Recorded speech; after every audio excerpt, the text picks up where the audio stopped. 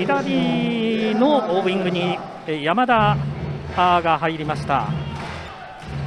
まあ、この形っていうのが最近、まあ、一つポイントになってますよね。さあ、ここはしかし先に取ったのは、あ琉球クラスの石川から、与田斗真、そしてここは34番キャプテン流れ大輝。点数に関しては誰出してもある程度計算ができるんだってことを言っていました。さあボールは拾っている。のは佐藤流星そしてつながって堤して速攻になるか？戻るコラソン。戻る。いいな決めた山田！が勢いづくっていう側面もあったりするんでなるほど。やはり出す方としてはタイミングがすごく難しい与田東馬決めた！与田東馬入れている。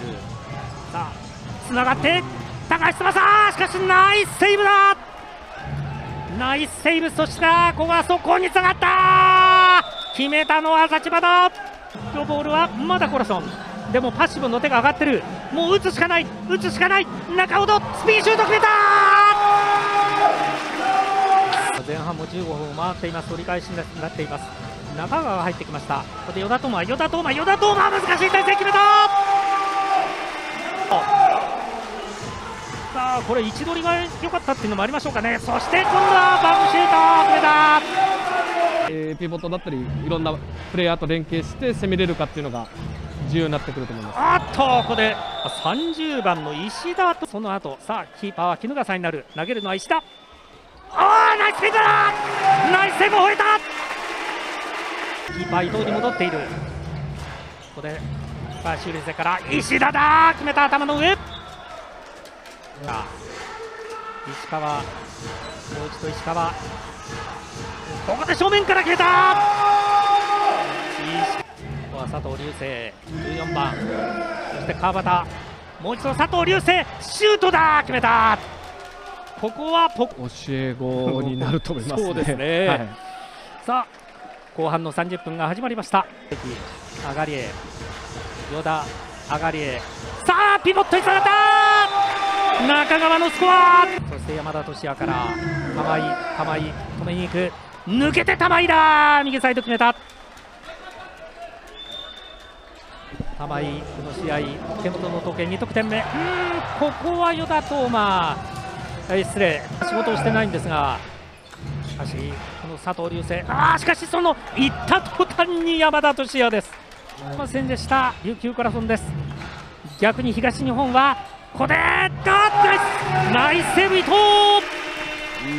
叩きだったかもしれませんがさあ中ほど拍手を送る。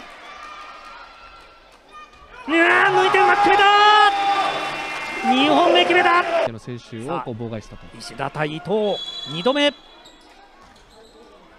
あ止めた。止めた。止めました。ここのところであるんですけど、しっかり、はい、あのー、守りましたね。さあピボットつながって梅木しかしここは、うん、後半の19分を回ったところ早めに追いつけない琉球これさん日が日が日がループシュート決めた。さあボールを長く移動する。住吉高ボールは17番決めた中川翔太。佐藤流星打ったボールを奪った。速攻になる。中ほど中ほど決めた。同点。はい。佐藤流星山田俊也山田俊也自分でいく自分でいく。決めた。山田山田選手らしい。はい。から山田俊也梅木打ったボールを落とした。ボールはこれは速攻になる。柿の花決めた。同点になったスピードを上げていくっていう。柿の花からここで柿の花シュート決めた。柿の花のスコアです。持ち込めるか。いやしかしここで住吉高。そしてつなぐ。シュートだ玉井とどめになった。そしてゴーンが鳴る。トヨタ自動車東日本激闘を制してこの南国沖縄の地で琉球コラソンを下しました。33対31トヨタ自動車東日本レガロッソが勝利を奪いました。